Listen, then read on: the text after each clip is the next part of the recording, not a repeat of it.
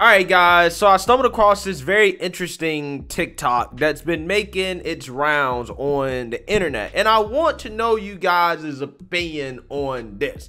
Uh, considering how we've been talking a whole lot about uh, the agenda that the Democrat Party has been pushing on uh, children, particularly in, in schools, um, I think there's a much broader conversation about uh, some things that you know adults are, are saying to kids that as a society we, we need to address. And in this TikTok here uh, that we're going to talk about, this woman posted on the internet, right, for whatever reason, uh, in which she tells a story about how um, she basically told her son's friend in high school um, to come see her for some birthday cake uh, when he gets older, right?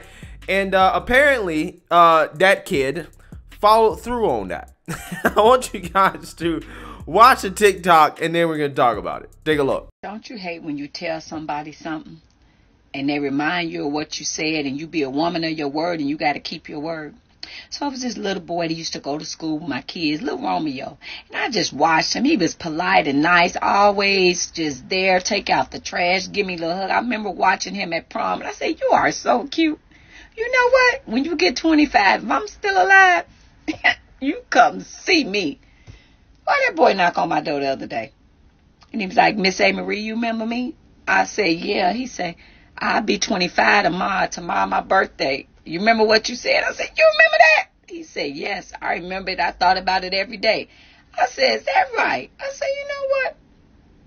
I am a woman of my word. I can't say something and not hold up to it.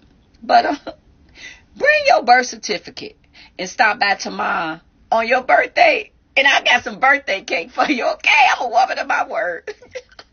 Now, I don't know if that's a joke or not, but I feel like it's not, okay? I've looked at uh, this woman's uh, TikTok after discovering this video, and uh, let's just say I can definitely understand why this kid was allegedly thinking about what this woman told him every single day until he finally turned 25. And I feel really, really, really bad for this mom's kid, okay? Because again, his mom apparently, allegedly, is at high school basically trying to scout out her son's friends uh, to come over and uh, get some birthday cake in the future, right? I mean, how embarrassing is that? Okay, I could never imagine myself in, in a situation like that. I don't think I'll be able to look at my friends the same ever again, knowing that, um, you know, my mom uh, wants to give them some birthday cake. Okay, that again is very, very, very embarrassing. It's the Jada Pinkett Smith situation. Okay, apparently we have older women out here uh, that are trying to prey on guys that are in their you know early 20s, and some of these women are going as far as to start scouting some of these young men while they're in high school, while they're teenagers. Right? Apparently that's a thing.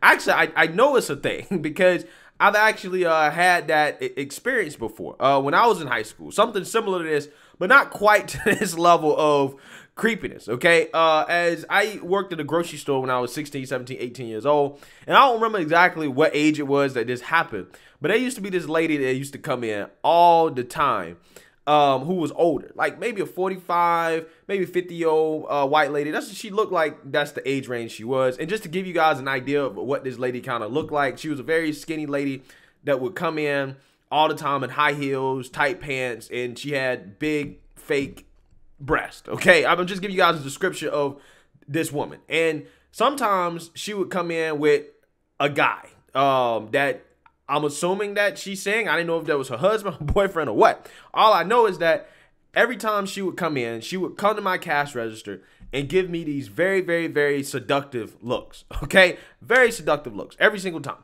Okay, and she would do things that was so weird. Like she would leave the cash register and then like walk out, but look at me the whole time, like staring in my eyes as she's walking out. Okay, it, it, was very, very, very weird. Uh, and she would do this regardless of if she was with her man or not. Okay, I've literally seen this woman walk out the door holding her man's hand while looking back at me. Okay, uh, yeah, I'm like 16, 17 years old. And uh, eventually, she gave me her number, right? She slid me her number while she was paying in cash. Now, um, I didn't really follow up on it, but I'm just saying. Uh, I, I think we know what the intentions were with that. So I'm just saying this stuff happens a lot more than you think, okay? Because I personally had experiences with that type of stuff.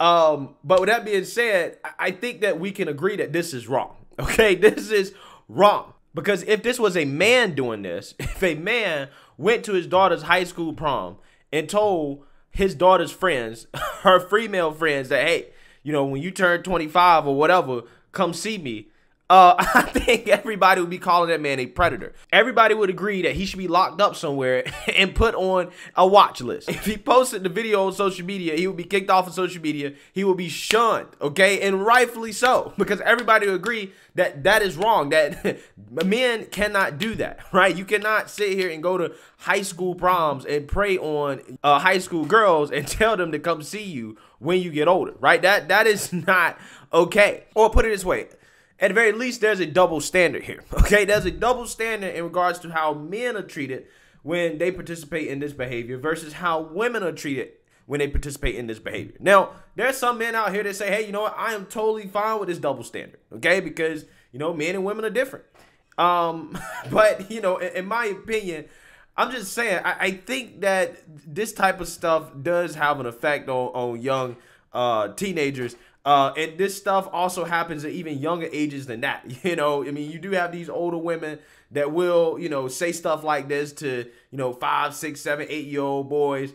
And, um, you know, it, it all seems innocent, right, at the time until that young boy, particularly this guy, he was a teenager, he was actually old enough to, to remember, uh, follows up on that, right? Spends the first part of his 20s dreaming about this grandma, right? And following up with her for some birthday cake. Now, hey, she says she's a woman of her word, and allegedly, uh, she kept her promise. Uh, so you know, hey, he's 25, he's an adult. I mean, what can I say? But I'm just saying, uh, if this was a man doing this, I, I don't think this would be acceptable. I think there would be a lot of backlash for this type of behavior.